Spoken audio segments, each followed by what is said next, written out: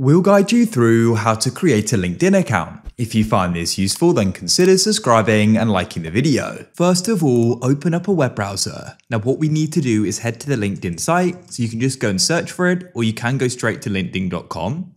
Once you're here, head to the top right and click on join now. We can go and get started. So first of all, you need to go and enter in an email.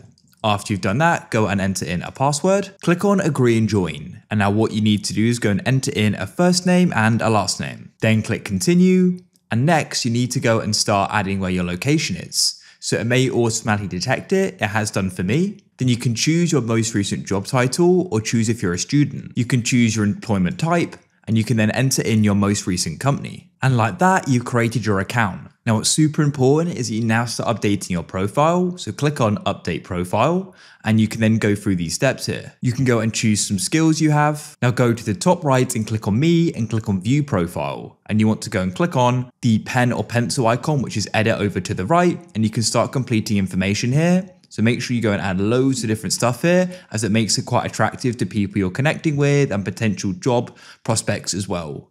And you can also go and add a profile picture over to the left here as well. And you can also add different sections by clicking here. And that's it. That's how you can make an account.